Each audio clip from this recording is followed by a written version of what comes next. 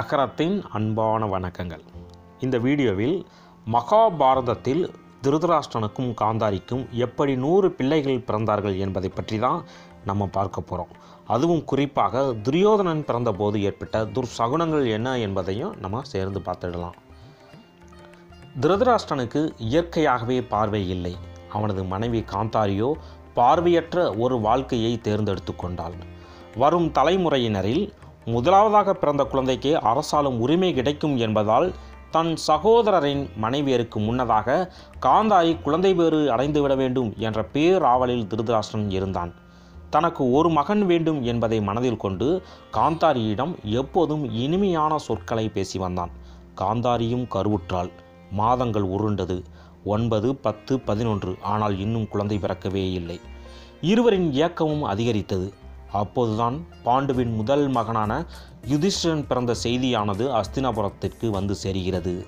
அதை கேட்டு காந்தாரியும் திருதராஷ்டனும் மன சோர்வடைந்தனர் முதலாவதாக பிறந்ததால் இயல்பாகவே அரசனாகும் தகுதியை யுதிஷ்டிரன் பெறுகிறான். பதினோரு மாதம் முடிந்து பனிரெண்டு மாதம் ஆன பின்பு கூட காந்தாரியின் கருவில் இருந்த குழந்தை பிறக்கவே இல்லை. என்ன இது? குழந்தை உயிரோடு தான் வயிற்றில் இருக்கிறதா? மனிதன்தானா அல்லது வேறு ஏதாவதா? என்று கூவினாள் காந்தாரி. தாங்க முடியாத விரக்தியில் தன் வயிற்றில் ஓங்கி அடித்தாள். அப்படியும் எதுவும் நடக்கவில்லை. தன் பணிப்பெண்ணிடம் கம்பு ஒன்றை எடுத்து வந்து தன் வயிற்றில் அடிக்க செய்தாள் காந்தாரி. அப்போது கரு கலைந்து கருப்பு நிறத்தில் ஒரு சதைப்பிண்டம் வெளியே வந்து விழுந்தது. அதை பார்த்தவர்கள் பார்த்த கணமே பீதியடைந்தார்கள்.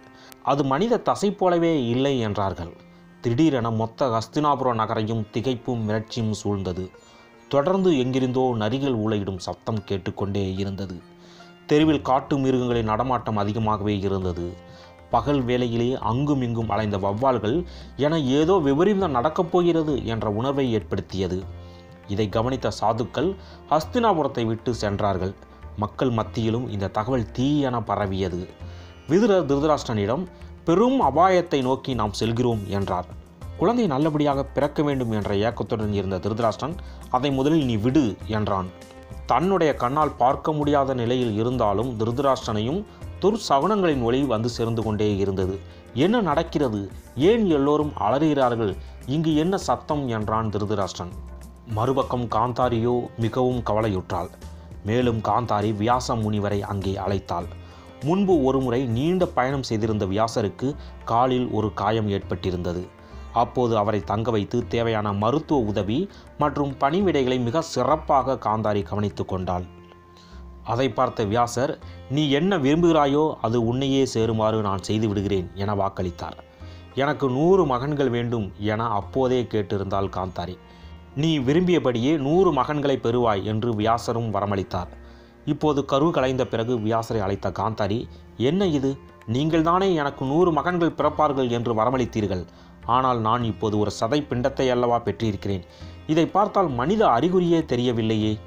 என்று கூறி கோபத்தில் இதை காட்டில் வீசிவிடுங்கள்.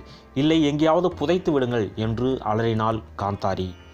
அதை கேட்ட வியாசரோ அமைதியான குரலில் இதுவரை நான் சொன்னது எதுவுமே பொய்த்ததில்லை. இனியும் பொய்க்கப் போவதும் இல்லை. அந்த பிண்டத்தை எடுத்து வாருங்கள் என்றார் வியாசர். பிண்டத்தை ஒரு நிலவரையில் எடுத்து சென்ற வியாசர் நூறு மண்பாண்டங்கள் நல்லெண்ணெய் மற்றும் பலவிதமான மூலிகளை எடுத்தும் வரச் சொன்னார். அந்த சதை பிண்டத்தை நூறு துண்டுகளாக நறுக்கி பானையில் அடைத்தார். காற்று புகாதவாறு அப்பானையை இறுக்கி கட்டினார். இன்னொரு சிறு சதைப்பிண்டம் மீதம் இருந்ததை பார்த்த வியாசர் மேலும் ஒரு மண்பாண்டத்தை எடுத்து வரச் சொன்னார்.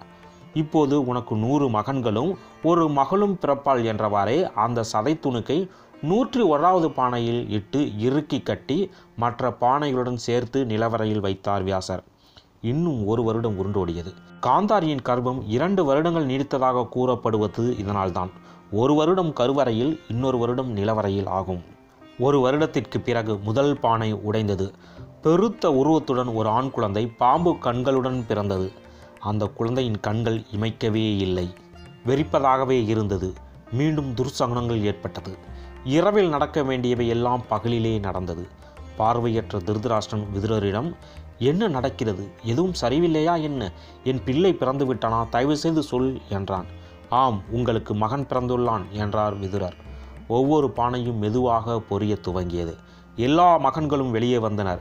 ஒரு பானையில் இருந்து ஒரு பெண் குழந்தையும் வந்தது.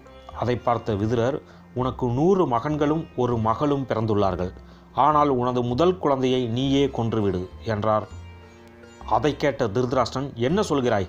என் முதல் மகனை நானே கொள்வதா என்ன பேசுகிறாய் நீ? என்றான். அதை கேட்ட விதுரர் உன் முதல் மகனை நீ கொன்றால் உனக்கு உன் குரு வம்சத்திற்கு மனித குலத்திற்கு என எல்லா வகையிலும் நீ மிக பெரும் நன்மையை செய்கிறாய். அப்போதும் உனக்கு தொண்ணூற்றி ஒன்பது மகன்களும் ஒரு மகளுமாக நூறு பிள்ளைகள் இருப்பார்கள். இந்த முதல் பிள்ளை மட்டும் இல்லை என்றால் அவர்களுக்கு எந்த பிரச்சனையும் வராது. ஆனால் முதல் பிள்ளையுடன் சேர்ந்தால் அனைவரும் இந்த உலகத்தையே அழிப்பார்கள் என்றார் விதுரர். அதே நேரத்தில் மறுபக்கம் காந்தாரி முதலில் பிறந்த தன்னுடைய புதல்வனான துரியோதனனை எடுத்து அணைத்தாள். இந்த சகுனங்கள் எதையுமே அவள் கேட்கவும் இல்லை உணரவும் இல்லை. தனது முதல் பிள்ளை அதுவும் ஆஜானபாகுவான ஒருவருடன் பிறந்துவிட்டான் என்ற பெரும் மகிழ்ச்சியில் இருந்தால் காந்தாரி. குழந்தையை நன்றாக வளர்க்க வேண்டும் என்ற ஆவலும் காந்தாரியின் மனதில் அலைமோதிக்கொண்டே இருந்தது. இவற்றையெல்லாம் பார்த்த விதுரர் காந்தாரியிடமும் திருதராஷ்டிரனிடமும் பேசத் தொடங்கினார். அண்ணா ஒரு குடும்பத்தின் நலனுக்காக ஒரு தனி மனிதனை தியாகம் செய்யலாம் என்றும் ஒரு கிராமத்தின் நலனுக்காக ஒரு குடும்பத்தையே தியாகம் செய்யலாம் என்றும் ஒரு தேசத்தின் நலனுக்காக ஒரு கிராமத்தையே தியாகம் செய்யலாம் என்றும் அழிவற்ற ஒரு ஆன்மாவுக்காக இந்த உலகையே கூட தியாகம் செய்யலாம் என்றும் விவேகம் உள்ளவர்கள் எப்போதும் அறிவுறுத்தியே வந்திருக்கிறார்கள். மனித குலத்தின் ஆன்மாவையே கரைப்படுத்தி சீரழிக்க நரகத்தின் பிரதிநிதியாக இந்த பயங்கரமான குழந்தையானது உனக்கு வந்து பிறந்திருக்கிறது. இதை இப்போதே கொன்றுவிடு. இவன் ஒருவன் இல்லாமல் உனது மற்ற குழந்தைகள் எந்த அபாயத்தையும் மற்றவர்களுக்கு விளைவிக்க மாட்டார்கள். உன் வாரிசாக தொண்ணூற்றி ஒன்பது இளவரசர்களும் ஒரு இளவரசியுமாக எப்படியும் நூறு ராஜவம்சத்தினர் இருப்பார்கள். ஆனால் திருதராஷ்டனுக்கு தன் ரத்தத்தின் மீதும் சதையின் மீதும் ஏற்பட்டிருந்த பாசம் அவனுடைய விவேகத்தை விட பெரிதாக இருந்தது. எனவே துரியோதனன் தன் நூறு உடன்பிறப்புகளுடன் அஸ்தினாபுர அரண்மனையில் வளரத் தொடங்கினான். அதே நேரத்தில் அங்கே காட்டுக்குள் பாண்டவ சகோதரர்களும் வளர்ந்து வந்தார்கள். அப்போது திருதராஷ்டனுக்கு தெரியவில்லை. இந்த உலகத்தையே அழிக்க காரணமாக இருக்க போகிறது இந்த மூத்த பிள்ளைதான் என்று. இதுவே திருதராஷ்டனுக்கும் காந்தாரிக்கும் எப்படி நூறு பிள்ளைகள் பிறந்தார்கள் என்பதாகும். மேலும் இதுபோன்ற தகவல்களை தெரிந்து கொள்ள கீழே உள்ள சப்ஸ்கிரைப் பட்டனை அழுத்தவும். நன்றி.